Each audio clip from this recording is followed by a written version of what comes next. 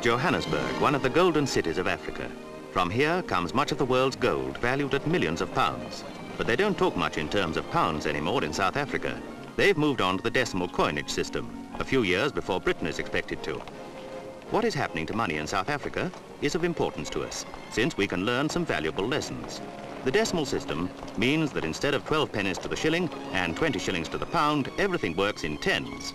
They now have the rand, equal to 10 shillings and cents. For the time being, price tags are marked old and new style, as the old notes are slowly withdrawn.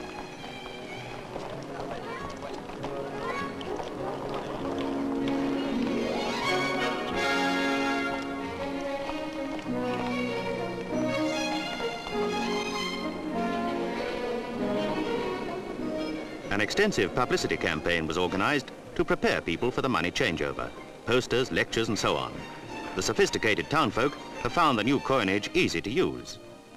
And it's not difficult for the villagers either, especially if they use fingers.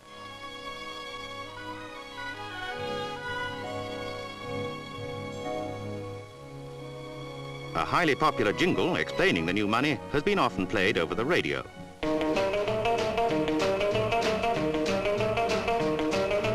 Decimal Dan, the Rand cent man, cents for pennies whenever he can. One cent for a penny and two for two. And two and a half for a tickey. And notes and silver are worth the same. Remember, it's just a change in their name. The Mint's first priority was to produce new cent and half cent coins to be the same size as the old pennies and halfpennies. It was estimated that about 30 million would be needed at first. Notes and silver are worth the same.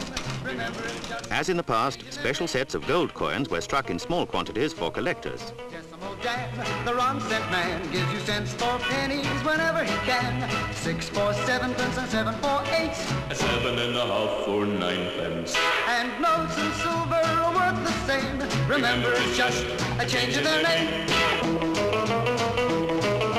Decimal Dan, the Rand cent man, gives you cents for pennies whenever he can. Eight for tenpence and nine for eleven. The South African government has been discussing this important change in its money for years.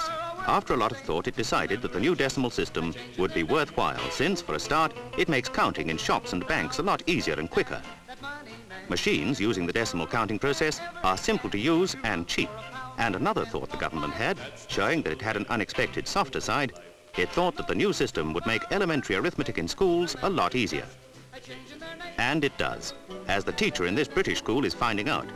The idea is that the pound should be divided into units of 10 shillings, and each unit into 100 cents, each a little more than a penny.